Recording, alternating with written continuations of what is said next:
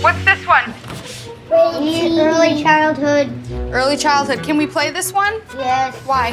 because it's uh, it's for kids and, and only kids can play it. What's this one? And mature for adults.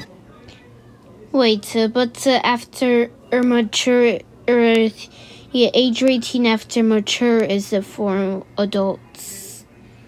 Why? Can't play it because there's bad language, shooting. Anyone's on this wall, you can't play. But uh, why did you, didn't you put an 18 plus? Please uh, uh, comment below why you didn't, uh, I mean, why she didn't uh, put an 18 plus.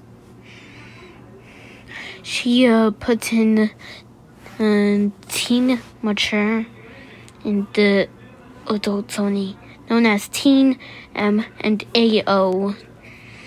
which is what they can't play. And she didn't put in 18 plus. 18 plus means everyone 10 plus. And comment below why she didn't put in uh, 18 plus. Okay?